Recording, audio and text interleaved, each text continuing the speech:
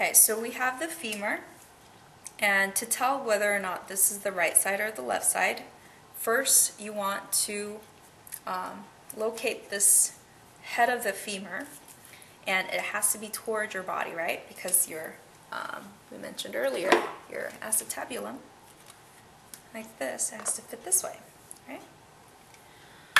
So this is the right femur, and just remember that this is the anterior view, and to tell whether or not this is anterior or this is, you notice the big difference. There's a huge um, groove here, whereas this is there's a flat surface. This is the patellar surface where the um, patella, um, your kneecap would sit.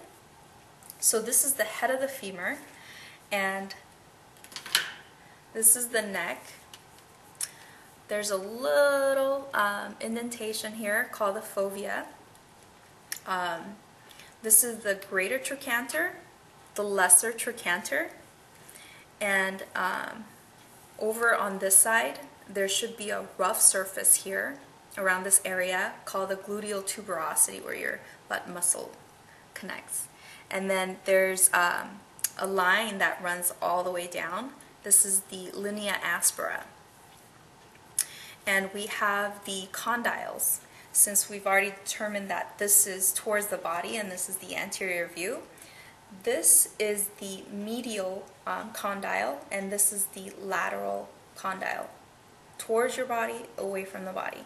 And just above it, these are the epicondyles. Medial epicondyle, lateral epicondyle. Um, and epi means above, so that makes sense, right? You have epicondyles above the condyles, medial and lateral. And back here, this is the posterior view. This really um, deep groove is called the intercondylar fossa. Intercondylar because in between the condyles. So that's it for the femur. Quick review.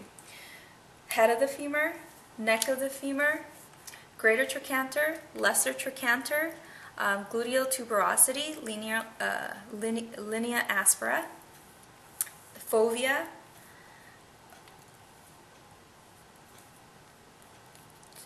uh, medial condyle, lateral condyle, medial epicondyle, lateral epicondyle, patellar surface, intercondylar fossa.